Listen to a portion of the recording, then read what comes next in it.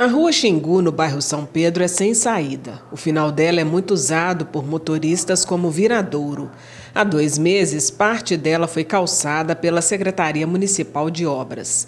Porém, a falta de uma escadaria é motivo de preocupação por parte de alguns vereadores que já fizeram pedidos em reuniões da Câmara. O vereador foi feito, ficou legal, ficou até bonzinho, mas está faltando a escada, as duas escadas estão tá faltando.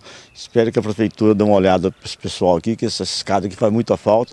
E também a iluminação pública aqui precisa de colocar, porque aqui é muito escuro à noite. A gente veio aqui agradecer a execução do vereador e agora está faltando as escadas, tanto para sair nas proximidades da rua de cima e para sair na rua de baixo, que liga a Avenida Amazônia com Cidade Nova. E aqui em cima dá acesso ao bairro São Pedro também novamente.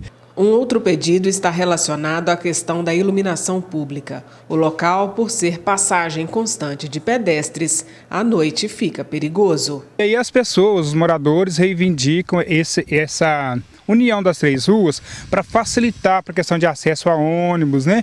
Muitas pessoas fazem esse percurso aqui à noite, é, por necessidade mesmo, né? Porque moram mais cá no final das ruas, então elas usam, utilizam essa via aqui iluminando, a gente com certeza vai garantir a questão de segurança aqui nessa união dessas três ruas e a comunidade, a população que reivindica merece, né? São serviços públicos, né? Que na medida possível o seu executivo podendo executar, acho que vai atender uma significativa parcela aí da população. Entramos em contato com a Secretaria Municipal de Obras que nos garantiu por telefone que as duas escadas serão construídas.